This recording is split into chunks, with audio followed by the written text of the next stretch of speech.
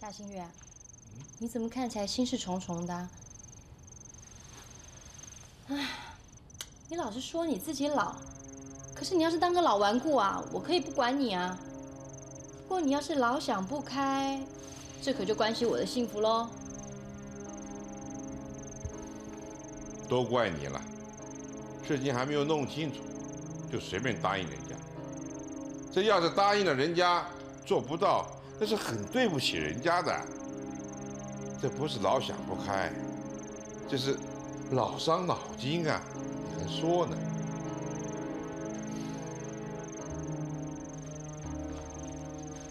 我会答应他们啊，这也都是为了你。你的个性我太了解了。人家都已经亲自到家里头来拜托你了，你要是不答应他们，你可是会一辈子后悔的。怎么样，我没说错吧？你说这话是没错了。不过现在我是泥菩萨过江，自身难保。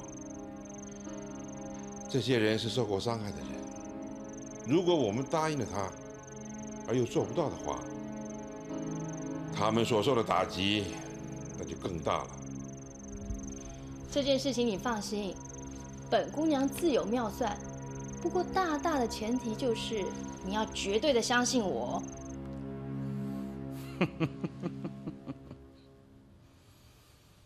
这两个人跟你非亲非故的，干嘛替他们求情啊？我不是来求情的，我是来讨个人情。好。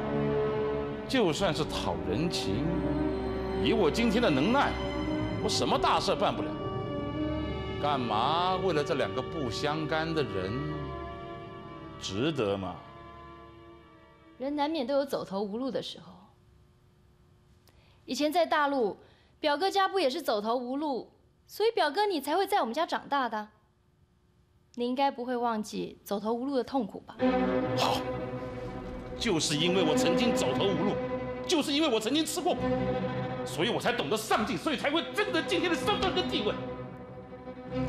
可是这些人不一样，不给他们一点苦头吃，他们是不会乖乖听话的，是吧？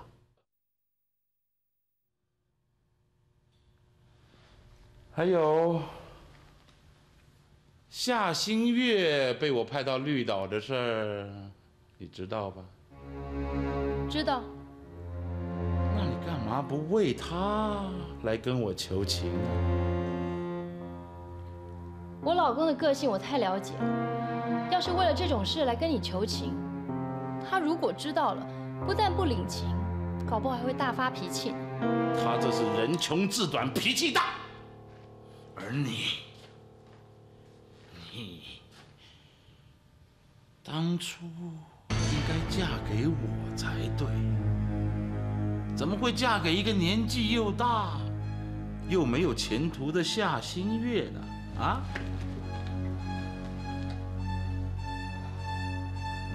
当初我离开大陆的时候，我爸爸跟我说，要嫁人就要嫁个正人君子，一辈子安心，所以我才不嫁给你。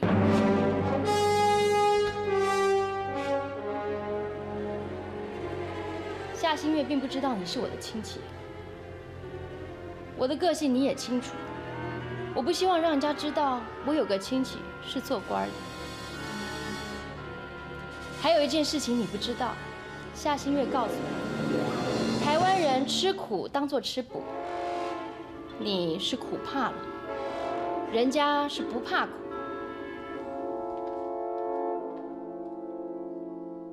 念过书的。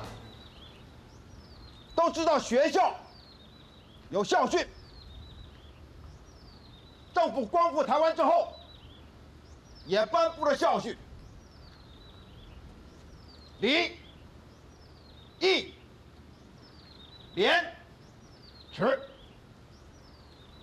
咱们新生训导处啊，也有校训，就是榜样、模范。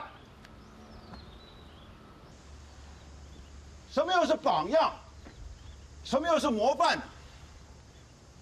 榜样啊，就是不守规矩的人；我把他绑在柱子上那个样子啊，他叫榜样。模范啊，是有模有样的犯人，他叫模范。我现在啊，先给大家介绍模范。要进师出列。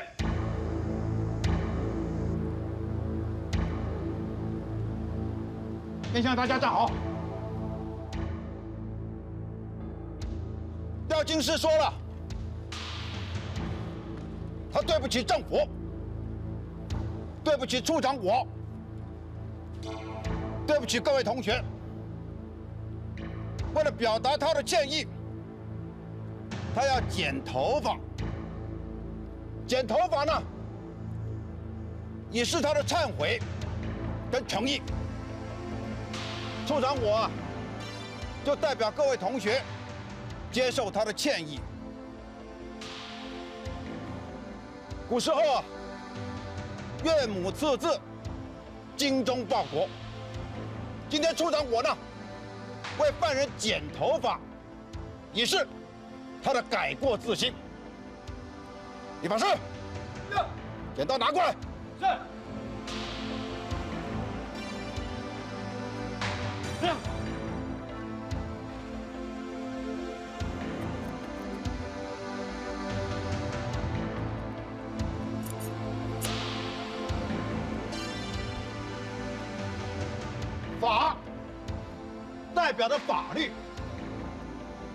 各位同学要记得一件事。我今天呢，虽然剪的是头发，但它却代表的是一种法律。以后我说的话就是法，听我的命令就是守法。如果不守法，我今天可以要你们绕法，明天呢，我也可以要你们断头。李培瑞，就开始剪头发。是。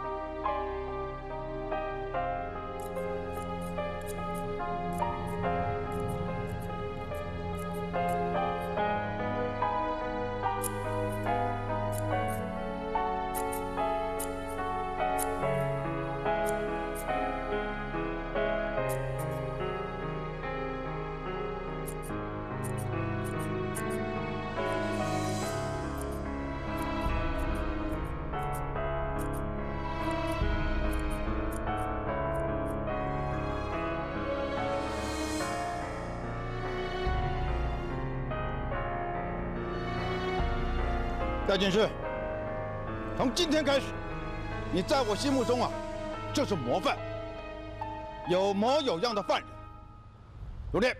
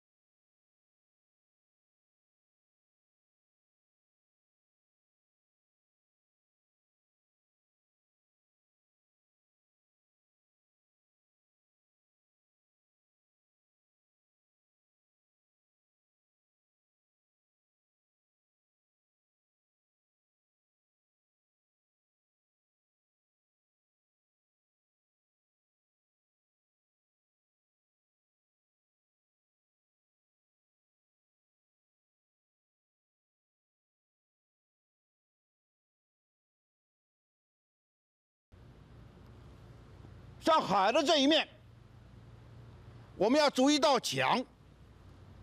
老七后，不用敬礼，开始筑墙。老七，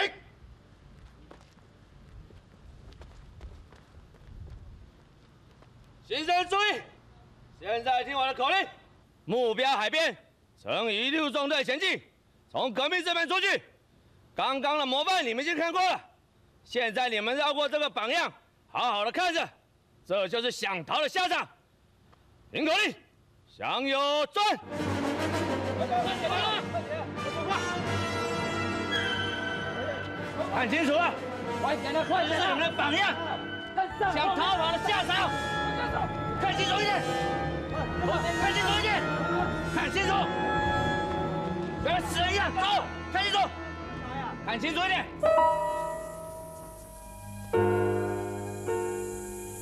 所在四边拢是海，所以经理一定要学起来哦。和蔼海，和蔼海，海底有啥？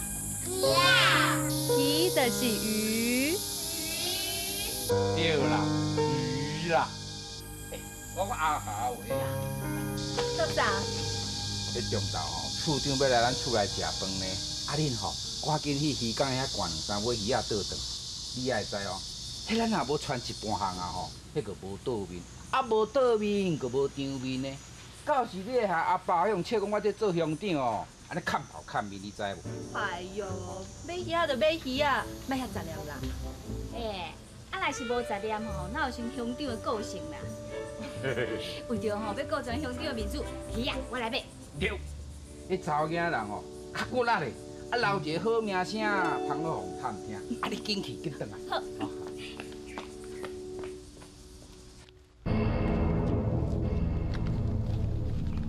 快，不快呀！快，点！快，慢慢走啊！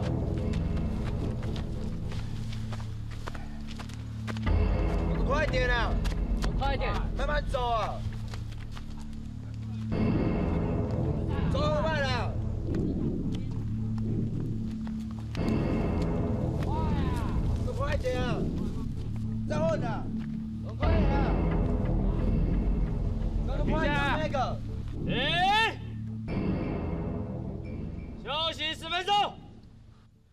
弄水给他们。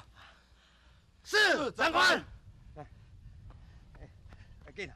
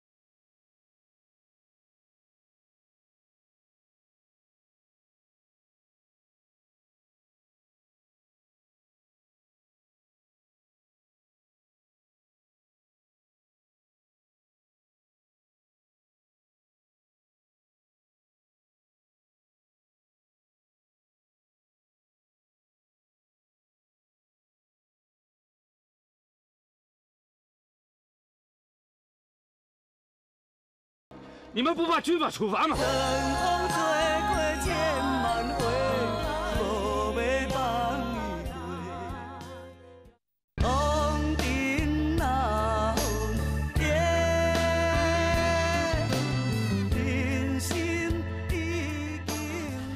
刘安总，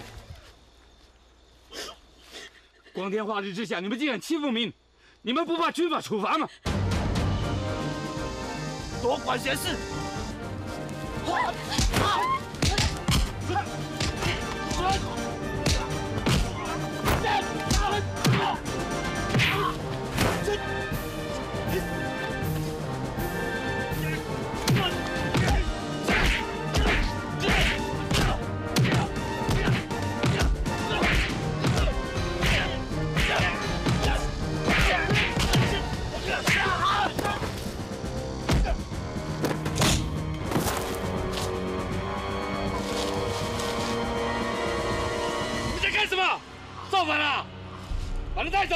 等一下，人是我打的，中然后，我也带气，我来打。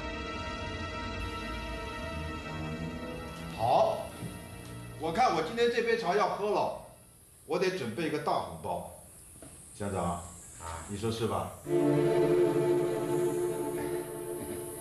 我讲处长啊，啊，我如果说是，怕会切到我女儿的意思哩。啊，如果说不是，又会切到你的诚意。我看 是不是由我女儿自己讲，安尼较好哩？哦。三号，这款代志哪有叫人家去讲的啦？查某囝唔捌啦，阿爸若一开嘴吼，迄代志个我都抽退啊你，所以互你家己讲。啊，你看迄个少年后改，你个点头。啊，若是看无介意吼，免客气。迄条件就开得宽宽，啊，互偏啊往人啊转去。以后毋则袂去找你安尼高高低，知无？啊，搁一点上重要的，千万吼毋通讲伊我遮来，会记。好了好了，令尊的意思啊，要你说你就说了，不要不好意思。年轻人呐，你就放大胆的说啊。嗯，其实我要说的，就是我父亲的意思，他想要一份大礼。我不是跟你讲，叫你莫讲伊我遮来。对，他又一次强调，他希望你们能够帮我们盖一所小学，然后请几个老师来教小孩子读书。这个要求可能有点强人所难啦，所以我爸不好意思说，才有我帮他开口。你是在真敢讲呢？莫讲啊啦，因袂答应啦。好，没问题。不过事情是这样，我会先派老师过来教课，至于校舍，得给我一点时间来准备。我说话算数啊。那这件事儿，报告组长，有没有规矩啊？没看到我跟乡长在谈重要的事，吵什么吵啊？报告组长，出事了。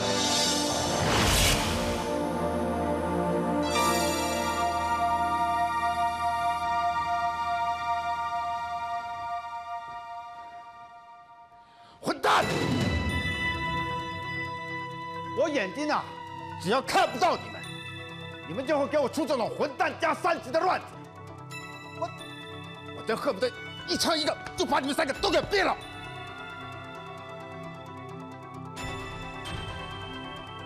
混蛋！混蛋！混蛋！你们三个，给我到门口站好，听候处分。滚！是。快点滚啊！滚啊！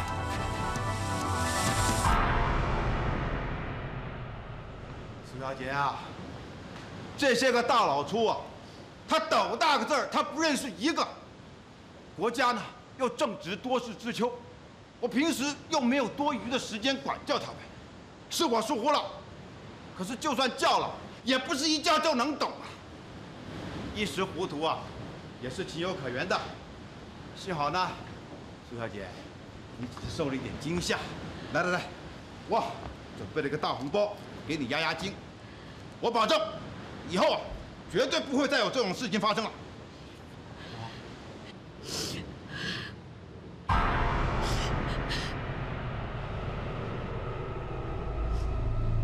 这个女孩子不想说，就由我来帮她说。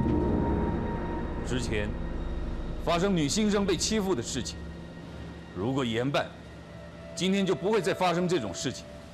你身为最高级长官，有义务向所有的人提出保证。这是最后一次发生这种令人可耻的事情。如果你不想提出保证，继续姑息你的属下，这位受害的小姐就应该追究到底。我中山峰愿意做她的证人。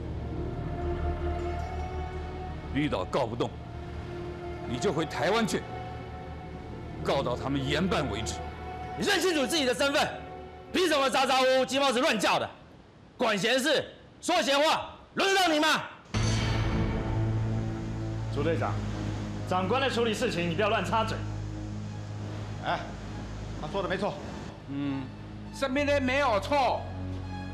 他说的才没有错啦！我讲处长啊，你不要让你这个阿兵哥哦变作畜生哦！我堂堂是乡长了，啊你给他当作我是乡长，啊啊叫我是潘大小，卖安尼啦！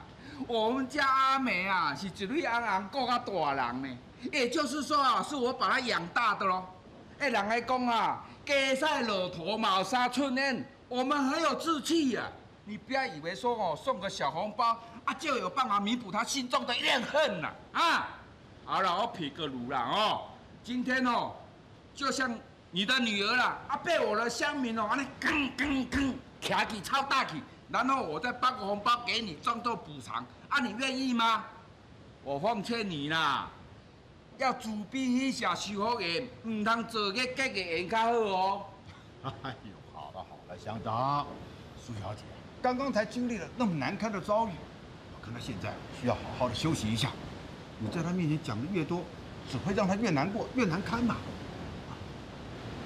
九号，你亲自开车送乡长他们回去。是。等一下，我会亲自审问。不过这毕竟是军中的事，你们在场不方便。只要我查出是哪个混账王八蛋带头的，我一枪就毙了他。另外两个。我吊起来打，打到他下半辈子当太监。然后，送客。是。乡长，林小姐，苏小姐，请。我讲处长啊，我看你那些阿兵哥，教的并不好啦。社会犯人哦，才是教的好啊。我讲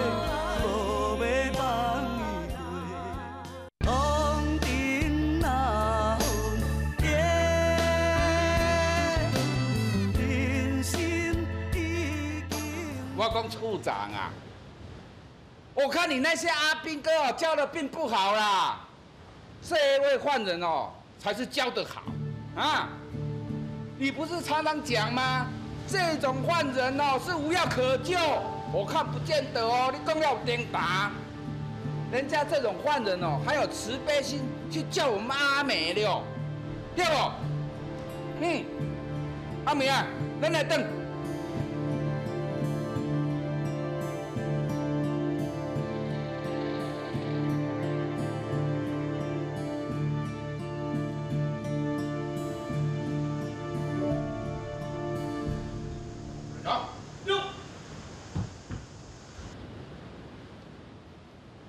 三个混账东西啊！给我叫进来！报告处长，您真的要处罚他们三个吗？是，他们是有错，但是请处长手下留情。管教？还有你在教我吗？是。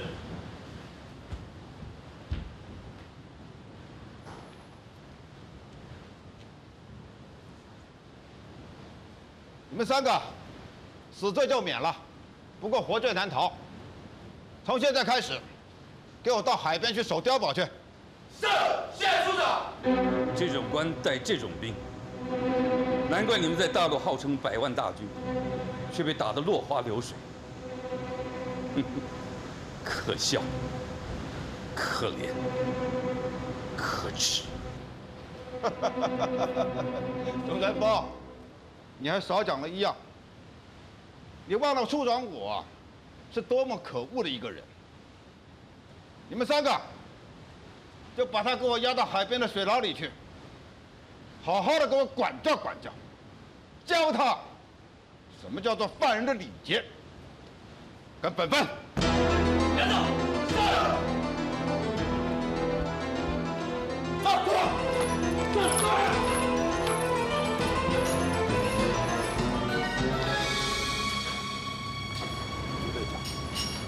这个兵是怎么带的？出点差错没事出乱子那可不行。报告处长，这种错不止我的手下，连我也犯过这种事。从大陆到台湾，从台湾再到绿岛，没有家，没有女人，没有钱。处长，毕竟我们是正常的男人，他们这些犯人过来这里关，关多久，心里有数。我们呢，上级派我们来这里，从来没有告诉我们什么时候可以回家。长官做得好，可以升官，可以离开。哪天处长升了总司令，恐怕我们这些弟兄还留在这里。我们可以为国家打仗，国家可以给我们什么？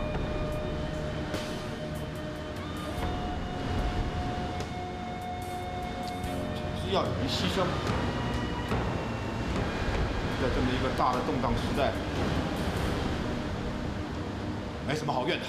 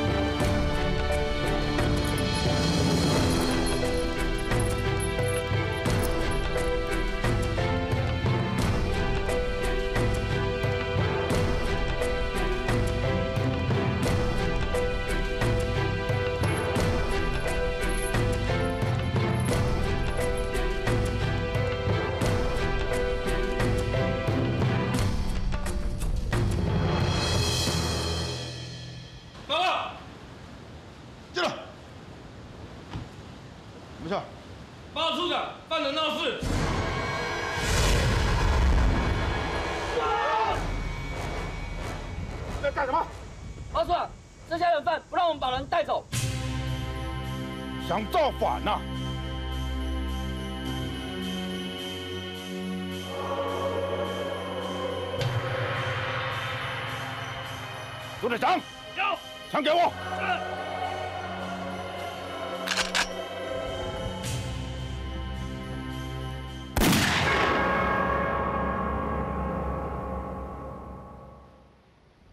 你们今天这样的行为，叫做造反，叫做判断。我有绝对的权利，将你们就地正法。两条路让你们选择：一。立刻让开！第二条路跟我的个性比较适合，就地正法。卫兵，走！举枪！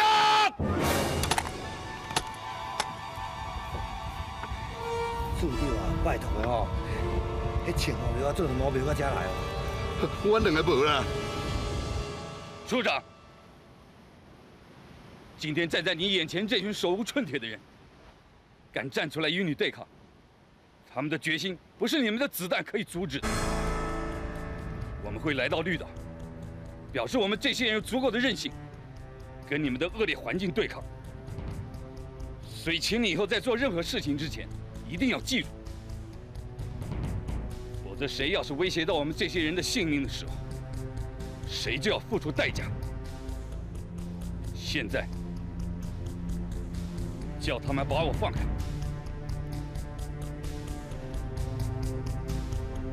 好，我倒要看看呢，你能够玩出过什么花来？放开他！是。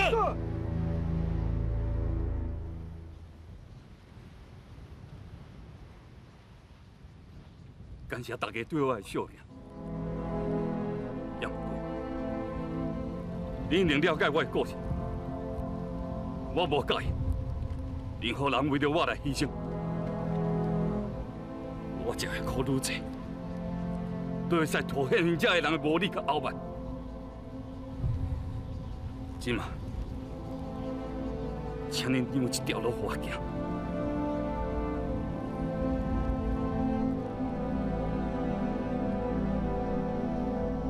お願いします。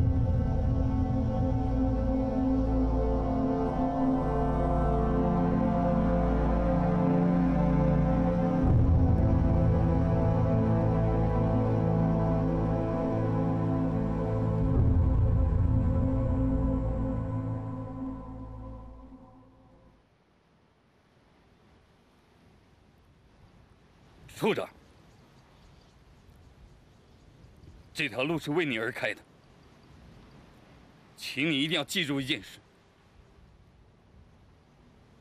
现在是我走这条路，几年以后，恐怕你也得走这条路。带头。是。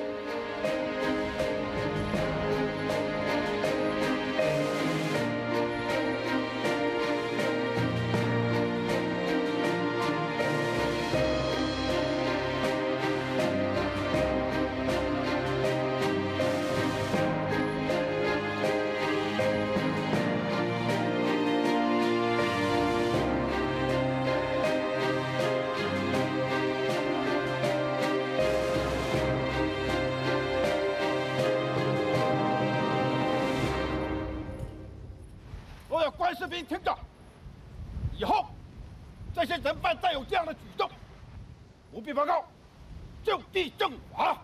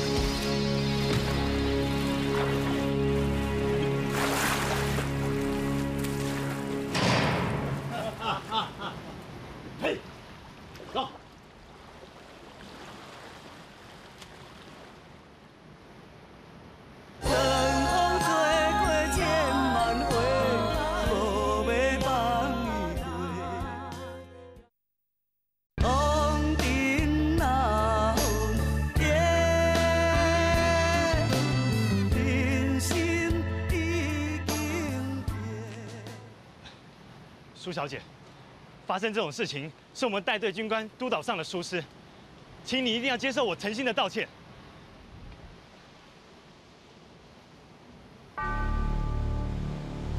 道歉之后，然后，请你原谅犯错的弟兄。他们有的人十来岁就被拉来当兵，什么什么都不懂的年轻人，跟着战争东奔西跑，从大陆到台湾，又从台湾到绿岛，他们把命献给了国家。可是，从来没有人告诉他们，他们的明天是什么。到了明天，他们又会怎么样？有仗可以打的时候，他们还可以拼命。可是现在，他们没有了战场，又回不了家。如果将心比心的话，我相信你一定可以想象他们内心的煎熬。将心比心。好，我就跟你将心比心。你会讲这种话，就表示你家里没有女孩子，家里没有姐妹。我说的将心比心，说对了吗？你根本无法想象，这种事情发生在你家人或者姐妹身上会有多么的惨。这个将心比心，你根本就比不来。你更无法想象，如果这种事情发生了，如果当时根本没有人来救我，你现在连个道歉的机会都没有，我的下半辈子要怎么过？如果同样的事情发生在彩霞，或者是村里的任何一个女孩子身上，你要怎么办？难道你也同样的一句道歉就了事了吗？你连这种事情你都想象不到，你还有什么资格跟我这个受到伤害的人说将心比心呢？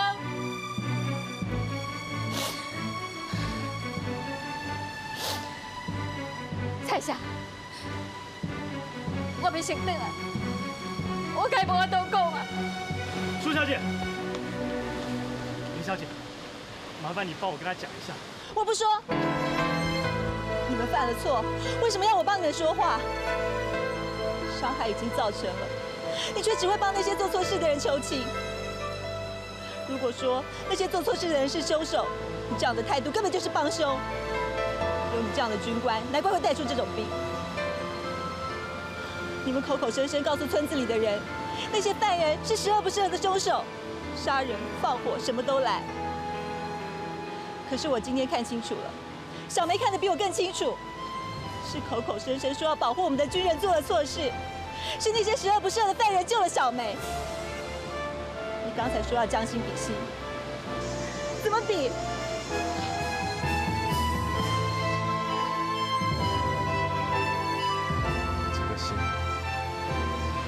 真不好比。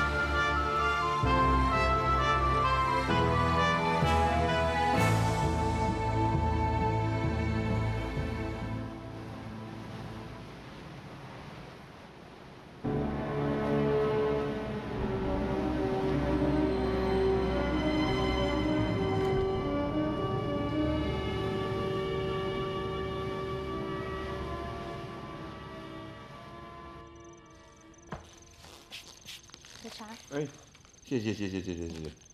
今天啊，我做几样下酒的小菜，咱们两个啊少喝两杯。什么事情啊？心情这么好？因为我今天学了一首新歌啊，待会儿呢我们就边喝我边唱给你听，然后你帮我评鉴一下嘛。我的耳朵最灵了，只要是好歌，我一听就听得出来。喂，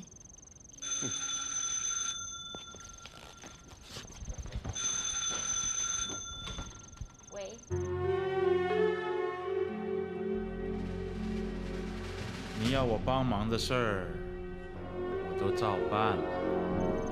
谢谢你，再见。陈乐，什么事情成了？林清风他们拜托我们办的事情办成了。你怎么会有这么大的本事啊？这么快就能办好这么麻烦的事情？因为我爸爸有一个远房的亲戚啊，他是个大官儿。帮助别人是件好事，但我不希望有这种关系来帮我。是夏上校。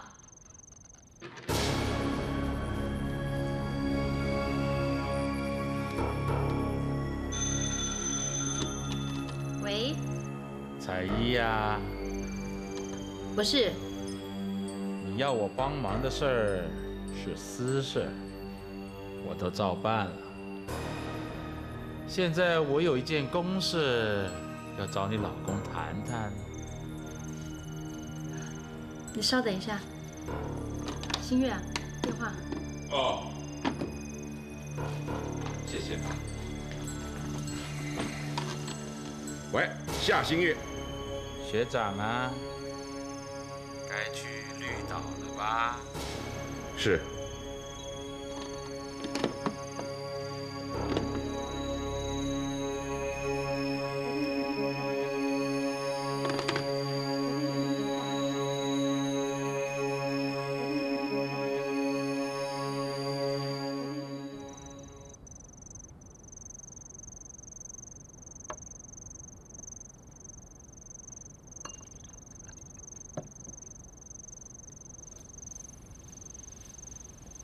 你的行李啊，我都帮你整理好了。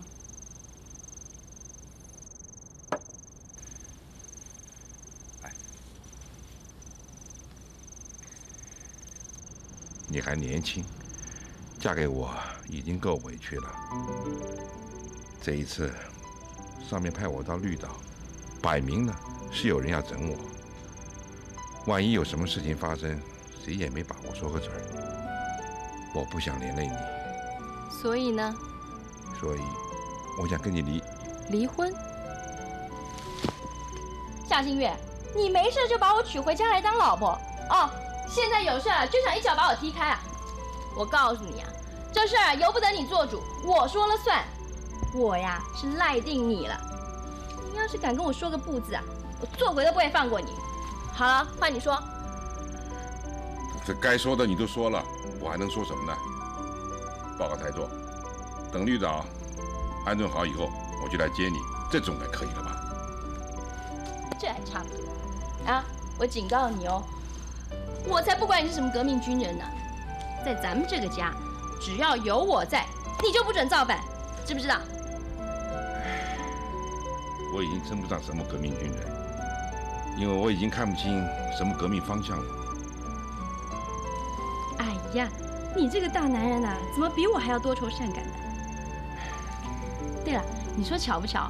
前两天呢，我听到了一首歌，这简直啊，就是为了我们夏上校量身定做的，叫《绿岛小夜曲》。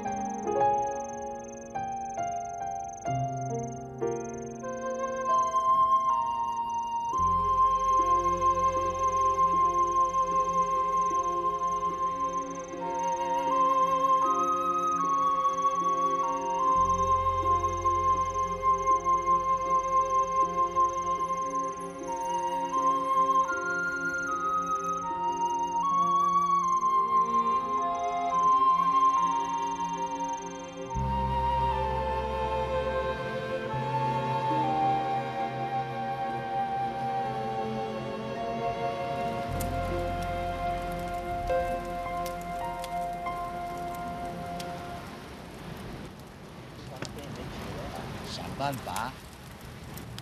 太会喝了啦，把酒喝光空空。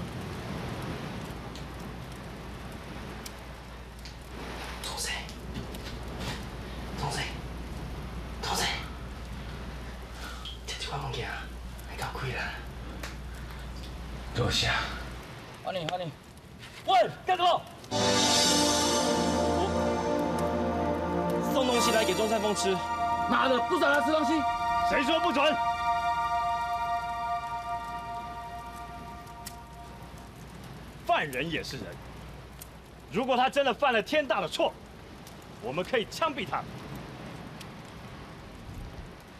只要我孔志浩一天是这国家的军官，就不准饿死半个犯人。你们这几个干的好事，我都已经知道了。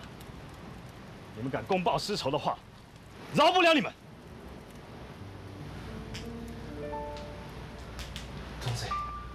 较勇敢的，爱我落去。我更较勇敢，也无法度拍开这个手铐卡了，像安尼颠骹绑手，我早晚会隐死。长官，可不可以打开中山峰的手铐脚镣？不然大涨潮的时候，他可能会淹死。你们几个给我听好了，处罚人犯是一回事，凌虐人犯又是另外一回事。处罚我可以当成是公事公办，凌虐我就找你们开刀，这叫铁面无私。现在立刻把中山峰的手铐还有脚镣给我解开。是。